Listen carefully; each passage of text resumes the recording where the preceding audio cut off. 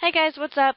I'm going to show you how to do the new D&D uh, for the Big Chinchompa. You come uh, southeast inside the Gnome Stronghold, and all you're going to need is the Protea flower. So you come up these stairs, and you're going to want to enter the yellow portal. Uh, if you check it, it'll show you where the guy is currently located, because um, me, I've already gone through it three times today, so I can't use the portal anymore. So I had to run there myself. So I came to, he was currently located east of the Dominion Tower. So you climb down the hole, and then you're just transported into this world. And the goal is to feed the big chinchompa in the middle. So you got to feed them the little moths. So what you're going to want to do first is you're going to want to run into any corner inside the map and grab one of your protea flowers. Basically what that does is it attracts purple moths to you and it'll keep them in your jar if you're able to catch them. So it's basically like if you're running around the arena, you can catch the moths. Uh, the bar on the very left is how tired the Chinchompa is the more moths everybody feeds him, the more tired he'll get. Once he reaches 100% sleepy or the time runs out, then the game is over. The bar in the middle is the current number of moths you have. Your moth jar can only hold 15 at a time. If you hover over it, you can see what color moths you have.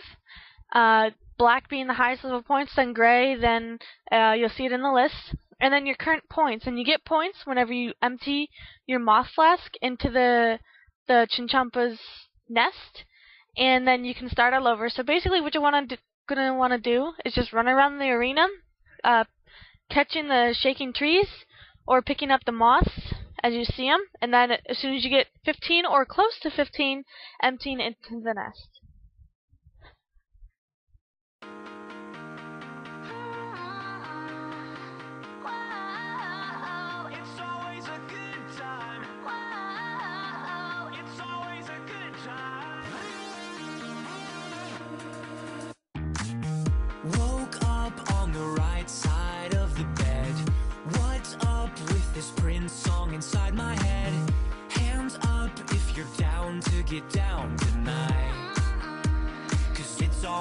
Good time. Slept in all my clothes like I didn't care.